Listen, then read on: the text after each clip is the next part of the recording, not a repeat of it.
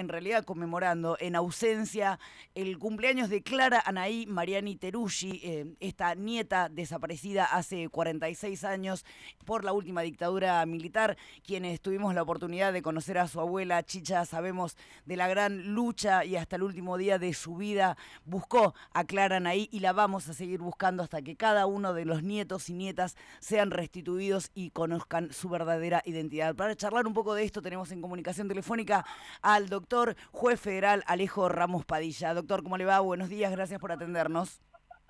Buen día, Virginia, un gusto. Verónica. Ah, perdón, perdón, Verónica, perdón. ¿Te puedo tutear, juez? Por favor, por favor. Sí. Porque así también le sacamos un poco, viste, de este protocolo que hay con la justicia, como con una justicia tan cuestionada, ¿no? Sobre todo en lo que, con lo que pasa en la República Argentina. Estábamos leyendo en tu Twitter, por eso decidimos de llamarte por teléfono. ¿Qué significa para vos este 46 cumpleaños en ausencia y en la búsqueda permanente de Clara ahí? Bueno, eh, qué bueno que, que además puedas tutear y que nos podamos tutear y que esa distancia que hay entre los jueces y, la sociedad se pueda ir terminando, ¿sí? eso de hablar de vuestra excelencia y que estemos tan alejados ¿sí? de los problemas de la gente es algo que hay que que hay que cambiar, ¿sí? Y Chicha eh, trabajó mucho para cambiar la justicia. Eh, recién te escuchaba decir cuando que Chicha buscó todos los días de su vida a Clara Naí, pero no solamente buscó a Clara Naí durante la dictadura, y uno se tiene que, que imaginar lo que implica buscar a, a, su nieta después de que habían matado en primer lugar a, su nuera un 24 de noviembre de 1976 ahí en, en la ciudad de La Plata, en un procedimiento en el cual intervino Camps, Echecolás, una figura muy, muy reconocida y muy conocida en los últimos tiempos por la cantidad de juicios que tuvo que afrontar allá en la ciudad de La Plata y 200 efectivos más contra la casa donde vivía sí, Clara Naís, la nieta de Chicha, tres meses de edad, su papá Daniel, Mariani, eh, Diana Teruggi y también donde trabajaban un grupo de militantes y como vos y como muchos que hacen periodismo en serio publicaban una revista que se llamaba Evita Montonera.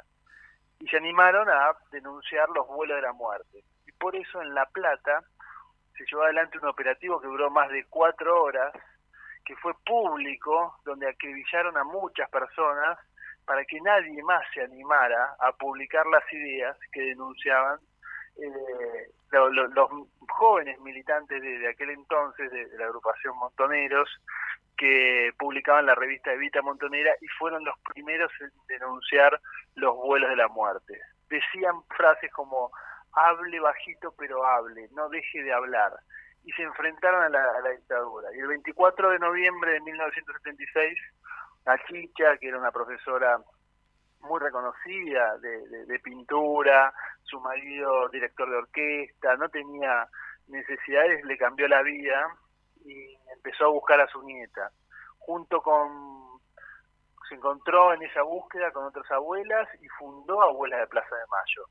Sí, Chicha Mariani tuvo eh, esa solidaridad de, no solamente buscar a su nieta, sino que fue la primera, la segunda presidenta de de Plaza de Mayo, primero estuvo Licha durante un año, Licha de la Cuadra, y ella fue presidenta eh, hasta el año 89 y logró la recuperación de más de 50 niños, ¿sí? pero logró además organizar a las abuelas en la búsqueda de sus nietos y logró transformar el mundo explicando que cualquiera fuera la circunstancia, no se pueden robar a los niños, y que los niños y los jóvenes y los hijos y los padres tienen derecho a conocer cuáles son sus orígenes, su identidad, y que eso no puede ser suprimido por más de que haya una dictadura feroz.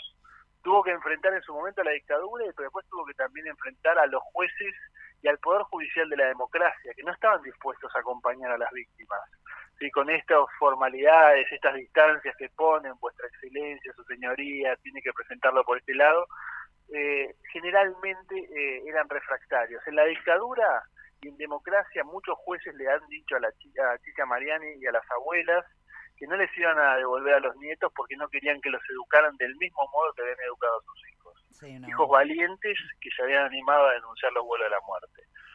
Eh, ¿Sabes que te, ¿Sabes que te escucho y quienes conocemos la historia de Clara Anaí, Mariani, quienes conocimos a Chicha y quienes estamos permanentemente tratando de la forma en la que podemos de acompañar a madres y abuelas y sobre todo en la búsqueda de todos los nietos y nietas que faltan, que recuperen su identidad, eh, eh, es conmovedor escucharte y por otro lado, ¿sabes lo que me pasa? Que como sos un juez federal y la justicia está tan cuestionada en la República Argentina, ya tratarte de vos me parece que es como, como mucho, porque viste que como vos decís bien, eh, estamos acostumbrados en una sociedad que nos crió con mi hijo el doctor mi hijo el doctor, ¿viste? Y la justicia hoy por hoy está cada vez más alejada de la gente. ¿Cómo se hace para volver para atrás y que la justicia realmente, vos, vos te parás acá en la ciudad de La Plata, noche 48, y cualquiera de los mobileros pregunta si creen en la justicia y yo estoy absolutamente convencida que la mitad de la sociedad platense por lo menos te dice que no.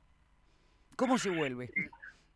Está muy alejada la justicia de los problemas de la sociedad. Eh, generalmente, bueno, a ver, podemos hacer una similitud con, para, para traerla a Chicha eh, como, como ejemplos. Chicha peleó, fundamentalmente la característica de, Chicha, porque hay, hay muchas luchadoras, el sábado vamos a estar dando una charla junto con Norita Cortiñas en, en la casa de la calle 30, recordando todo el trabajo de Chicha, pero está Nora, está Eve, hay un montón de, mujeres extraordinarias, Estela, eh, Tati Almeida, un montón de mujeres extraordinarias que han cambiado la historia de, los valores de nuestro país, porque la dictadura y los gobiernos que, hemos tenido y los poderes fácticos, qué yo, han mostrado lo peor del género humano y cómo permanentemente sí las instituciones van en contra del pueblo, pero estas mujeres mostraron lo mejor del género humano. La característica fundamental de Chicha fue apostar a la justicia. Y la justicia en algún momento pequeños momentos de la historia democrática, tengo que decir, porque si ejercer la profesión de abogado o reclamar la justicia durante la dictadura era en muchos casos la antesala de la muerte, por eso los abogados no se animaban a firmar los habeas corpus y las madres y las abuelas tenían que ir solas a los tribunales. Las esperaban, esperaban horas, las maltrataban cuando no las encarcelaban o las hacían desaparecer como pasó con Azucena Villaflor, eh, que, que, que después apareció en la costa de Santa Teresita. Pero digo, ellas igual reclamaban justicia pese a la impunidad que existía. Y en los 80 reclamaban justicia y hubo un momento donde se llevaban adelante los juicios por eh, los, juicios históricos, y el juicio a las juntas, algunos jueces empezaron a investigar y ahí hubo una suerte de reconciliación con la justicia. Eh, pero poco al poco tiempo con las leyes de audiencia de vida y punto final y pese a que estaban excluidas de, la, de las de las de, las leyes de impunidad, si los casos de apropiación de menores, no hubo jueces que siguieran investigando y buscando la identidad de esos niños. Y Chicha continuó, continuó, Sí, ella era una gran investigadora, su casa era una suerte de, oficina o juzgado que tenía un grado de información, le gustaba leer, juntarse con testigos, entrevistarse, ir a reclamar a los jueces, ir a reclamar a los organismos internacionales. Ese fue, eh, era alguien que conocía hasta el detalle todas las investigaciones, entonces no había juez que no quedara en ridículo frente a lo que ella tenía para aportar. Durante los 90 siguió reclamando justicia, promovió el juicio del plan sistemático de robo de bebés, que recién, recién tuvo, eh, pudo, pudo avanzar, bueno, logró no solamente la cárcel efectiva de, Miguel Osvaldo Checolás, y promovió fuertemente los juicios por la verdad en La Plata, por eso cuando se terminaba un juicio, y esto lo deben recordar mucho lo de La Plata, el aplauso hacia Chicha Mariani duraba, eh, yo diría para, para no exagerar, eh, minutos y minutos y no paraba, no paraba de decir algo eterno el aplauso porque todo el mundo reconoce que todos los días de su vida ella reclamó por justicia. Pero lo cierto es que, que la justicia siempre estuvo atenta a hacia dónde miraba el poder, hacia dónde miraba... Eh, la sociedad se derechizaba, se olvidaba de los derechos humanos.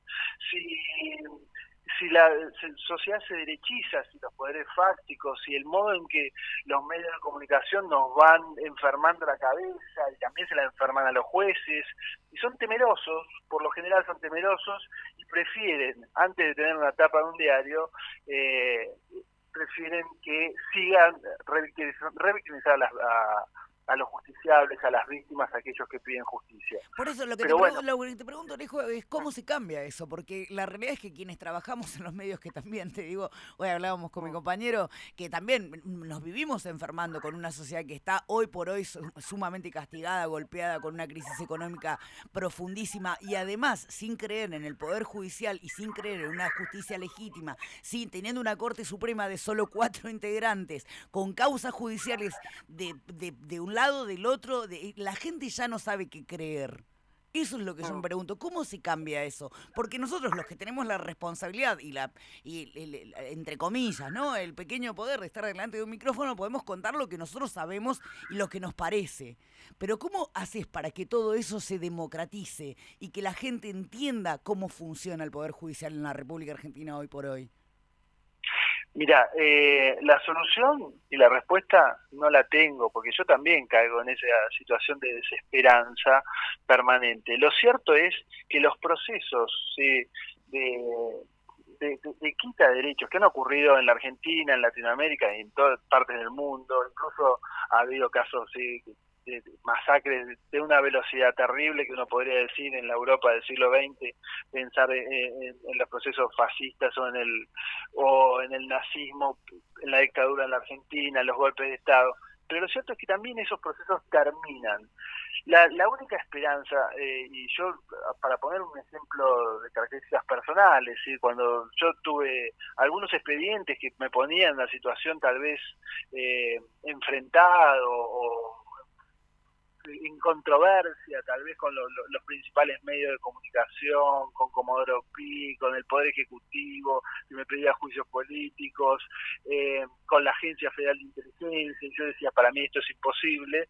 En el, mi despacho tenía la foto de Chicha Mariani y que fue para mí, los que me, conocen saben que tuve una relación con ella de 10 años y que eh, desde los 10 años y que siempre estuvimos muy juntos, muy juntos eh, y formamos casi como si fuera una familia. Decía, se pudo eh, enfrentar con la nada misma, con la nada misma, en el año 76, 24 de noviembre del 76, fundar abuelas, recorrer el mundo, reconocer el derecho a la identidad y mostrar si lo importante que es acceder a la justicia, reclamar por los derechos humanos, ¿cómo me puedo yo eh, desanimar y, tratar eh, frente a este contexto que en definitiva no es ni siquiera comparable con el que tuvo ella? Lo que tenemos que hacer es efectivamente inspirarnos en, lo mejor que podemos llegar a tener, que son cosas muy buenas. Nosotros cuando buscamos ejemplos en materia sí, de, luchas revolucionarias, incluso la lucha pacífica, sí, mencionamos a Gandhi, y bueno, me parece muy bien, pero tenemos un ejemplo más cercano, tenemos ejemplos más cercanos en el tiempo y en el, en el espacio como estas mujeres y como muchos otros ¿sí? que se levantan todos los días, que pelean en un comedor comunitario, que pelean solitariamente en la justicia, una abogada que estigmatizan, a la abogada, al periodista que sí, lo corre a un costado, pero que en definitiva sí son los que eh, en algún momento se genera el clic y se genera esa revolución y ese pequeño espacio en el cual se pueden conseguir derechos. Generalmente son cortos los momentos donde las sociedades logran conseguir derechos. Al poco tiempo, la historia lo demuestra, ¿sí? de los últimos del último siglo, cuando los gobiernos democráticos avanzaban en la protección de derechos, sí. A ver, me refiero sí, al peronismo, pero también me refiero al radicalismo de los primeros años eh, del siglo XX. Eh, y, también incluso cuando estaba proscrito el peronismo, cuando había un gobierno como el de Frondizi o de Ilia que avanzaba sobre intereses corporativos, especialmente foráneos, preservando, eran eh, sacados de, sí, por, por golpes militares para, para volver a instalar los principios del neoliberalismo, del liberalismo de entonces o de la derecha de entonces y restringir los derechos de la ciudadanía. Entonces, hay momentos donde se puede avanzar, hay que saber que hay que avanzar rápidamente, que los tiempos son cortos, que las, los derechos conseguidos hay que defenderlos permanentemente y que hay ejemplos que aparecen a veces de manera inesperada, como fue Chica Mariani, como fueron los hijos después más tarde, como son ahora también eh, las historias de sobrevivientes, como pueden ser movimientos sociales, como puede ser algún dirigente político, eh, que nos dan la esperanza de que, bueno, ser, en breve va a haber otro periodo donde se va a ver generar tal vez una reconciliación entre los valores y la justicia. Yo vos sabés que te escucho y te escucho con mucha admiración, sos una persona que, yo en lo personal he, seguido bastante tu carrera y lo que has hecho, sobre todo todo lo que tiene que ver con las políticas de derechos humanos. Y la Argentina en eso es em, una, un país de avanzada. Nosotros tenemos ley de identidad de género, de, ley de matrimonio igualitario, pero después a la hora de ponerte en del lado de mirar la justicia y de lo que sucede todos los días y las tapas de los diarios y cómo se enferma a toda una sociedad, es muy difícil. Yo sé que lo que pasa es que las abuelas y madres nos han dejado la vara muy alta, entonces reconstruir la esperanza y esa confianza con la que yo te escucho hablar y que te, repito, que te admiro que tengas esa, esa, esa vocación, esa esperanza, al resto de la sociedad creo que por ahí no se, no se, le, no se le traslada de la misma manera y, con toda la razón del mundo, sí, porque lo que uno ve a diario es limitación de derechos, ve fallos tomando decisiones en contra del pueblo. La palabra pueblo está proscripta en la Argentina casi. Si hablar de pueblo es hablar de algo sí que está fuera de la agenda sí, de, los medios, de los políticos, hablar de, de la pobreza, del techo, de la vivienda, del trabajo, de todo ese tipo de cosas de una solidaridad por el otro, ¿sí? Eh, eso está fuera de la agenda de, pero bueno, son momentos, son momentos cuando cuando las sociedades en un momento hacen un clic y bueno, y se generan revoluciones, se generan cambios, eh, y, un segundito mejor. Eh, se generan cambios y bueno, y así se generan derechos que, los usufructuamos todos en general. Y yo creo que eso en algún momento va a ocurrir. No te queremos sacar más tiempo, Alejo, sabemos que estás en un encuentro de jueces, así que no te queremos robar más tiempo. La última que te pregunto cortita, ¿ampliar la Corte Suprema sí o no? ¿Cuántos miembros? Lo que hay que hacer es modificar al, Poder Judicial, ¿sí? tener eh, un, poder judicial en el cual sí, las sesiones de, la Corte Suprema sean públicas, un poder judicial donde cada una de las decisiones puedan ser debatidas, pero no en foros académicos, sino que puedan ser explicadas eh, a la sociedad. Cuando de repente la Corte Suprema se arroga ¿sí? para sí mismo la facultad de elegir eh, a, los jueces y que la corporación judicial sea ¿sí? la que más preeminencia tiene sobre la elección de los jueces, la corporación judicial, me digo abogado, eh, tenga preeminencia sobre la sociedad en su conjunto, están diciendo, estamos generando un poder judicial a la medida de cierto grupo. Sí, bueno, hay que democratizarla, hay que buscar maneras de cómo democratizar la justicia, cómo darle también un sentido más federal. Eh, hoy el sistema no funciona, puede ser un ampliar el número de jueces, hay que modificarlo. El Poder Judicial no funcionó. La Corte Suprema es un órgano político, sí, al mismo tiempo de judicial, porque político en el sentido que tiene que llevar adelante políticas públicas. Y hoy está claro que las políticas judiciales que se llevan adelante del Poder Judicial están muy alejados de los problemas de la gente. Entonces hay que llevar adelante modificaciones profundas como para poder acercarlas a los problemas de la sociedad. Ojalá, ojalá se pueda llegar a eso. Alejo Ramos Padilla, te agradecemos muchísimo el contacto. Nos vamos a estar el día viendo seguramente el día sábado ahí en el 46 cumpleaños en ausencia de la desaparición forzada de Claranay. Te mandamos un abrazo grande. Un abrazo, hasta luego. Hasta luego. Estábamos en comunicación telefónica con el juez federal de La Plata, Alejo Ramos Padilla. El próximo sábado 13 de agosto vamos a estar, y digo vamos porque yo voy a ir, por supuesto, porque soy una persona que em, creo mucho en las políticas de derechos humanos, porque me parece que no es, un, es mal, es más, me parece mal, no es que creo, me parece que conocer tu identidad y tu origen es un derecho fundamental de la vida humana. Estamos el sábado, va va a estar cumpliendo 46 años en ausencia por desaparición forzada Clara Anaí Mariani Teruggi, quien fue la nieta, quien es la nieta de Chicha Mariani, fallecida, abuela de Plaza de Mayo, vice, fue la segunda presidenta de abuelas de Plaza de Mayo. Vamos a estar el día sábado, el acto va a ser a las 3 de la tarde en la casa Mariani Teruggi, ubicada en calle 30 entre 55 y 56. Ahí estaremos, ahí te esperamos. Un pueblo que no tiene memoria es, es imposible que tenga futuro.